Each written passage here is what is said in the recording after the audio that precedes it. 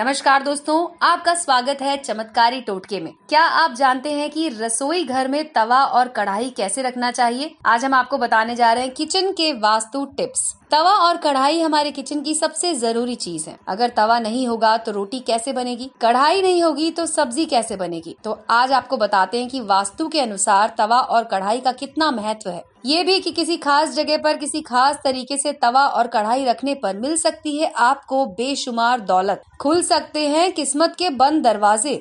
जी हाँ क्योंकि तवा और कढ़ाई राहु का प्रतिनिधित्व करते हैं। तो आप रसोई को साफ़ रखें। अगर कोई महिला गंदे तवे पर गंदी कढ़ाई का इस्तेमाल करती है तो इसका सीधा प्रभाव पति पर पड़ता है। इसके अलावा आपके घर के बच्चे या पति नशे में लिप्त हो जाते हैं तो मान कर चले की ऐसा राहु के कुप्रभाव के कारण हो रहा है। आप कुछ अन्य उपाय करने के साथ साथ रसोई पर भी ध्यान दीजिए। कहीं तवे और कढ़ाई के गलत तरीके से रखने की वजह से तो नहीं हो रहा है। आइए आपको बताते हैं कि कैसे आप इसको ठीक कर सकते हैं। जब रात को खाना बना लें तो तवे को धोकर रखें। सुबह खाना बनाने जाएँ तो तवे को गर्म करने के बाद रोज इस्तेमाल होने वाले नमक को तवे पर डालें। इस बात का ध्यान रखें कि नमक में कोई और पदार्थ ना हो, जैसे कि हल्दी, लाल मिर्च, ऐसा कुछ भी ना हो। और इसके बाद सबसे पहले एक दो या तीन इंच की रोटी बना लें। अब इस रोटी को ऐसी जगह रख दें जहाँ से उसे कोई जानवर खा सकता हो। ऐसा करने से घर की सारी नकारात्मक ऊर्जा समाप्त हो जाती है। घर में सुख समृद्धि बनी रहती है और जब तवे का उपयोग ना हो, तब उसे ऐसे रखें कि दिखे, यानी कि खुले में ना दिखे हो तवे और कढ़ाई को कभी भी उल्टा नहीं रखना चाहिए। तवा और कढ़ाई जहाँ खाना बनता है, उसके दाएँ तरफ़ रखें।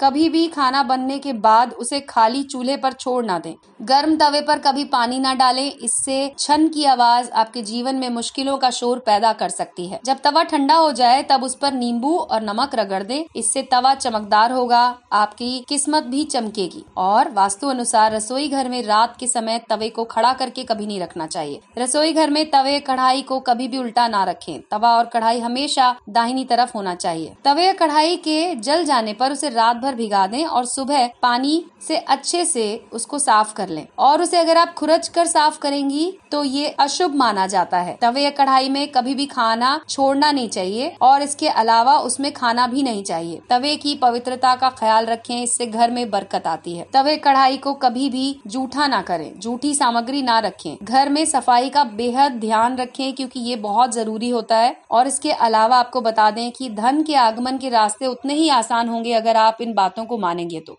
अब आपको बताते हैं कि किचन के वास्तु के बारे में। ऐसा माना जाता है कि रसोई घर अग्निय कोण में होना अच्छा है। अगर ऐसा नहीं है तो इससे घर में रहने वाले लोगों की सेहत खास तौर पर महिलाओं की सेहत पर असर पड़ता है। अन्न धन की भी हानि होती है। पाचन संबंधित अनेक बीमारियाँ हो सकती हैं। जिस घर में रसोई घर दक्षिण पूर्व, यानी अग्निय कोण में नहीं हो, तब वास्तु दोष को दूर करने के लिए रसोई के उत्तर पूर्व, यानी की ईशान कोण में सिंदूरी गणेश जी की तस्वीर लगा दें। अगर आपका रसोई घर अग्निय कोण में ना हो, किसी और दिशा में अगर बना है, वहाँ पर यज्ञ करते हुए ऋषियों की एक फ़ोटो लगा दें। चूल्हा अग्नेय में, प्लेटफॉर्म पूर्व में और दक्षिण को घेरता हुआ होना चाहिए, शुभ माना जाता है। वॉश बेसिन उत्तर में हो, भोजन बनाते समय आपका मुख पूर्व की तरफ़ हो, उत्तर और दक्षिण में बिल्कुल ना हो। ये बातें मानने वालों के लिए ये बिल्कुल सही बात होती है, क्योंकि आपकी सेहत पर, आपके धन पर इन चीज़ों का असर पड़ता है। जी हाँ और आपको बता दें कि रसोई घर में पानी जो है, पीने का पानी, वो उत्तर पूर्व दिशा में रखना चाहिए। रसोई घर में पानी और आग को कभी भी पास पास नहीं रखना चाहिए।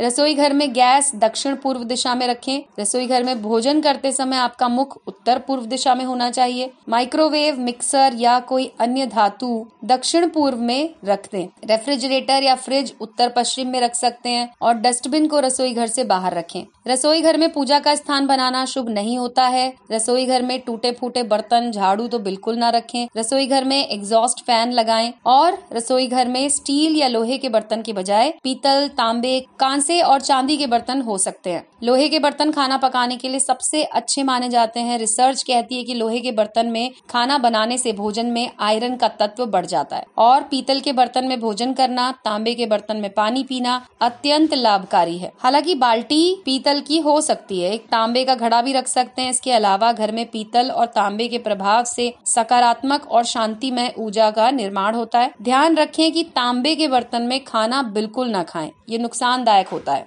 तो दोस्तों, ये तो थी जानकारी आपके जीवन से जुड़ी हुई। आपको वीडियो कैसा लगा दोस्तों, हमें ज़रूर बताएँ। हमारे इस वीडियो को लाइक करें और अपने दोस्तों के साथ ज़रूर शेयर करें। जुड़े रहे चमत्कारी टोटके के साथ।